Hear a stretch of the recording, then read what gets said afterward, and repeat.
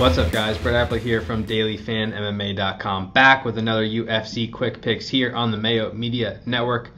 Going to be talking about UFC 268 today. We have Usman versus Covington in the main event. Zhang versus Namajunas is our co-main event. It is really another fantastic card, potentially even better than last weekend. Uh, 14 fights on the slate, I believe. I'm going to give you my favorite cash game play, tournament play, salary play, and my fade of the week for this event. Before I get to that, make sure you subscribe to the channel, like the video, and comment below who your favorite play is in the 9K range this week, excluding Kamaru Usman. There's uh, six other pretty interesting options in the 9K range. I'm going to talk about a couple of them. But uh, should be a high scoring card, a fun event. And without further ado, let me get into my cash gameplay of the week, which is going to be Kamaru Usman at 9.3K. All right, for cash games this week, I like Usman at 9.3K. I also like Covington um, at 6.9K if you're going to use a fighter from that bottom end. I think stacking this fight is viable in cash games. I would not do it in tournaments, even though we saw Yan and Sandhagen come out on the optimal lineup in tournaments. Last week, Usman is the favorite at minus 300. Of course, this is a rematch, so we do have a, um, a better sample size than other fights, and Usman scored very, very well against Covington in the first fight that went nearly five full rounds. Usman was able to land 175 significant strikes two knockdowns. Uh, neither side attempted any takedowns, which is pretty interesting. Neither side got any control time. Neither side got any non significant strikes. But I do think we're going to see this fight take place at a high pace once again. And ultimately, Usman does have potential to wrestle and grapple if he wants to. He still averages 3.27 takedowns per 15 minutes. I don't think he's going to take down and, and, hold down Covington for long stretches of time. Covington defend takedowns at 75%, but Usman does have some control, some takedown capability, and he's proven he can strike at a high pace too. I mean, 175 significant strikes. Um, over nearly 25 minutes is just such an incredible pace. Averages 4.12 significant strikes per minute, absorbs 2.86, and Covington's going to push a pace here. I mean, he knows that's the the the best avenue to defeat Usman. He's not just going to let him uh, sit back at range and and throw the more effective shots because Usman is a more effective striker than Covington on a strike per strike basis. Usman's earned five knockdowns in his last four fights, of course, coming off two knockout victories. I don't necessarily think this fight's going to end quickly. I mean, Gilbert Burns and Covington are not necessarily on the same level durability wise. This fight's projected to last, you know, the o- over four and a half rounds is minus 130. Fight goes to to, to decision is minus 115. So we're projecting this fight to last, you know, several rounds. And as a minus 300 favorite with the potential to wrestle, with the potential to strike at a high pace. I mean, Usman's really hard to ignore at 9.3K. And it's not even like he's 9.5 or 6K like some other fighters in this range. Um, he's affordable. I definitely think you can make the argument that Covington is the value side on the money line because Usman's implied at you know 75% here, and he lost two of the first four rounds against Covington in their first fight. And say what you will about how the fifth round ended. Uh, the first four rounds were very competitive, and Colby even won round four after getting his jaw broken. So to think Usman's just going to run away with this from the start, I wouldn't be so sure. I think this fight could be competitive. And that's why Covington priced at 6.9K. I mean, he's hard to ignore as well. He's not going to score exceptionally well in a loss, I don't think. He put up 57 points in a loss versus Usman last time, and that's a lot of points for 6.9k, but that's not going to get you on the optimal lineup in tournaments. In cash games, that's more than enough. So, which is why I think stacking up this fight is certainly viable. And if you want to play Covington solo in tournaments because you think he's underpriced, because you think he has a chance to beat Usman over 25 minutes, that's perfectly fine. I'll probably do that to some degree as well, and I think he is live in this spot. However, from a cash game perspective, we're looking at safety. Usman is one of the biggest favorites on the board at minus 300. He has a uh, you know, some chance to win inside the distance. Plus 145 inside the distance is a, a, pretty strong number. The ability to grapple, the ability to strike. He's a very strong cash game play on this slate at 9.3K. Usman will be my cash game play of the week. Moving on to tournaments, I'm going to stick here in this 9K range and talk about Ian Garry who is making his UFC debut. And you know, there, I think you can target pretty much any fighter in this range, which is why I am asking you to comment below who your favorite play in the 9K range is, because I think Burgos, Pereira, Bagdasaryan, Usman, Hawes, Garry, and Jacoby are all viable in one way or the other. I'm actually going to give out a fade of the week in this range as well, though I don't feel super comfortable about it.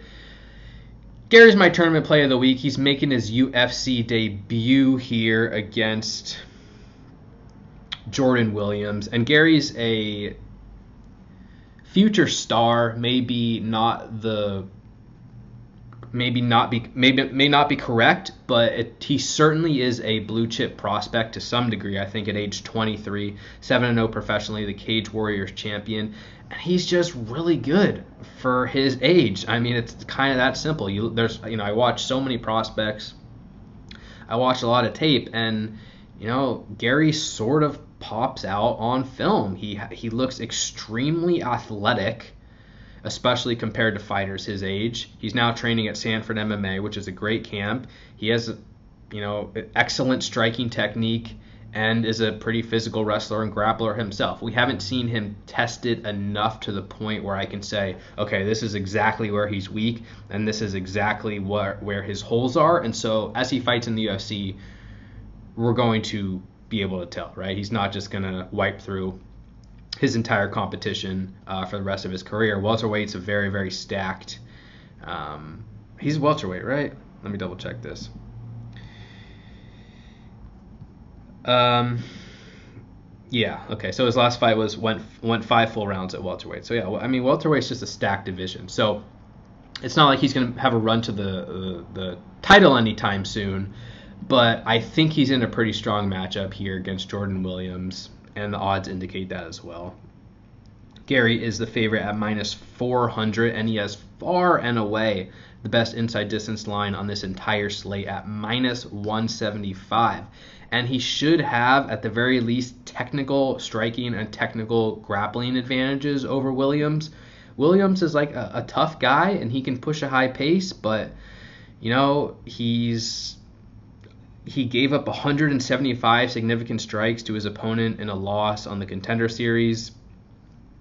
He lost to Nassourdine Imavov in his UFC debut, and he was submitted by Mickey Gall in the first round.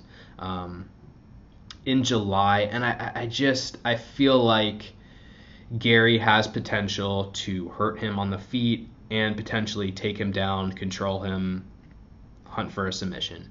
Um, this isn't the safest fight in the world for Garry because Williams will can be tough, will push a pace, has the ability to land strikes in volume, and maybe Garry's just untested. Maybe he just hasn't faced an opponent who can dish it out. But I, I just I really believe in his technique. Like he throws a powerful jab, which is something that you know many fighters in this division cannot even do. I respect his kicking game. I think he's really physical and a really strong athlete, and I think he's a pretty quality wrestler and grappler too. So he should have advantages everywhere. Um, Garry has won five times inside the distance in seven pro fights. Uh, one by submission, four by knockout, and with the inside distance line at minus 175. I just don't think he can be ignored at 9.5K. I don't think any other fighter in this top end even has an inside distance line better than plus 100. So minus 175 is a clear standout. That means he has a better chance than most to win inside the distance. Winning inside the distance is the best opportunity to top 100 points on DraftKings. And I don't think the public's going to be all over him either. He's going to be a hot prospect. He's got that nice um, Irish accent. But Kamaru Usman is in the same range. Jacoby, Phil Hawes are priced above and below him. Bagdasaryan's an an interesting name. You know, Gaethje, Pereira, Burgos, they're all going to draw attention. So I'm spreading my exposure out in this range. I don't think Garry's going to be overwhelmingly popular, but from a metric standpoint, he stands out.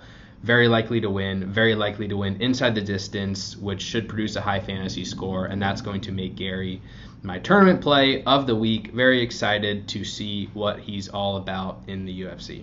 All right, moving on to my salary play of the week. I'm going to roll the dice on Frankie Edgar at 7.4K. And, and look, you, there's many salary options you can lo- use below the mid range, and a lot of them are obvious. Like obviously Michael Chandler has some upside. I think a lot of people are going to go to Covington. I think a lot of people are going to go to Billy Quarantillo.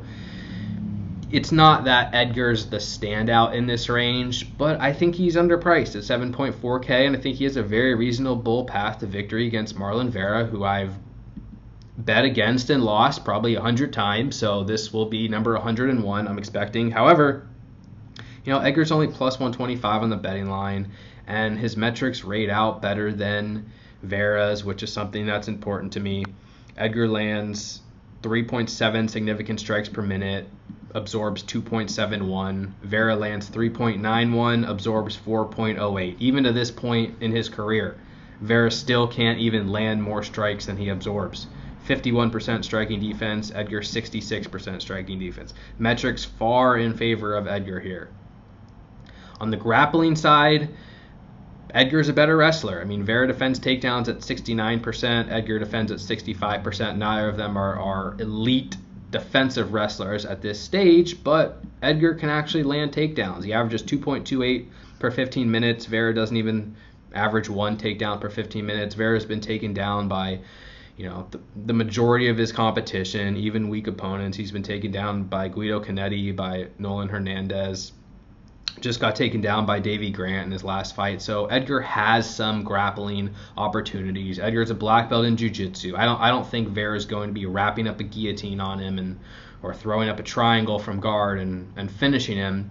The big concern, obviously, with Edgar is the durability, and that's the only reason why he's the underdog here. And I'm not saying that's not fair because I think I even picked Marlon Vera to win by knockout here. It just feels like Edgar's been getting hurt and finished very easily in recent years. And in his last six fights, he's lost inside the distance in round one three times. So I think there's a pretty decent chance that Vera clocks him in the first round or two and finishes the fight. Like that is very realistic. So this is not a dig on Vera's DraftKings potential either. I think Vera is an interesting tournament play at 8.8K. However, Edgar's a Edgar's a technical boxer. He's very experienced. He just went five rounds with Pedro Munhoz in uh, last August. He's got a wrestling background. His metrics rate out better than Vera. He's got way more experience. All these things I've I've mentioned over and over again. He has a path to a decision. I don't think Edgar's going out there and knocking Vera out. I don't think Edgar's going out there and submitting Vera. But I think there's a reasonable chance he can keep this fight competitive at range. He can mix in a couple takedowns, edge rounds, and win a decision. If he can survive, his path to a decision is viable. Even if you don't think it's super likely, he's only plus 125 on the betting line at 7.4K. That's a value. At the very least, Edgar's a secondary tournament play for me.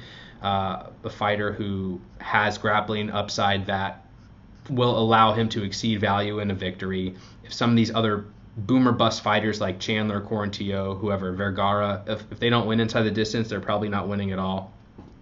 So Edgar's an interesting option for me. He's going to be my salary play at 7.4K. All right, and finally my fade of the week. This is, I mean, this is really tough because I, I I don't think he's a fade in a literal sense, but I'm gonna go with Dustin Jacoby at 9.6K because he's too expensive. I mean, the strength of this 9K range and below is just too high for me to consistently pay up to 9.6K. Like I've mentioned, we already talked about Vera. I think Justin Gaethje's obvious. Burgos is fighting at a very high pace. Pereira's got early knockout upside. Bagdasaryan's got early knockout upside. Kamaru Usman we've already talked about. Phil Hawes early knockout upside. Ian Garry we've already talked about. Those are six or seven fighters priced below Jacoby. So it just, it puts Jacoby in this spot at 9.6k where he really has no choice but to earn a first round knockout in order to be competitive with the optimal lineup. And even if he does so, I'm still not certain he ends up on the optimal lineup. Anyways, he's coming off a first round knockout victory against Darren Stewart, scored 106 points. I don't think 106 points is enough at 9.6K on this slate. There's going to be too many big scores. And Jacoby, you know, we talked about the minus 175 inside distance line for Garry. Jacoby, he's a minus 400 favorite over John Allen, and he is plus 105 inside the distance. Plus 105 inside the distance is not bad in a vacuum, but comparatively, it's pretty poor um, when we're talking about minus 175 price right below him and Usman price right below that. So I think Jacoby's a better kickboxer than Allen. I, think he probably wins a comfortable victory. I think there's a decent chance he can win inside the distance. But Allen is relatively tough. He's never lost by knockout in, a, in his career. He's been submitted a few times. I don't think Jacoby's going to really be testing him on the ground. If anything, it's going to be Allen who's going to be trying to land takedowns. I expect Jacoby to be able to keep this fight at range, outstrike Allen, probably um, you know, land more effectively, land higher volume, and win by decision or by knockout. But it's it, it's a price. It's a price play. And at 9.6k, if he doesn't win this fight in round one, I don't think he's going to be competitive at all with the optimal lineup. And even if he does win in round one, I still think there's a chance he gets beaten out or pushed off because he's too expensive. So when I'm looking at this top end, I want to spread my exposure out. I think Jacoby's viable and like you know as a secondary option if you're you know want to play two out of ten lineups with him. But generally speaking, if you have a limited number of lineups, I, this is not a fight or a fighter where I think you have to force action on. Allen's way overpriced at 7.8k. I think Jacoby's overpriced at 9.6k. I'm going to be targeting the lower end 9k range and upper 8k range more heavily in tournaments, and that is going to make Jacoby my fade of the week. All right, guys, that's going to do it for this week's UFC Quick Picks. Thank you for the support. As always, you can follow me on Twitter, Brett Appley, double dailyfanmma.com for all your DraftKings breakdowns, needs. Got a full podcast coming up this evening, uh, rankings, projections, betting content, all the usual good stuff. Thanks for, uh, to Pat and the team for having us on the channel. Once again, make sure you subscribe to the channel, like the video, and until next week, best of luck in your contest. Stay safe out there. We'll talk to y'all soon. Peace.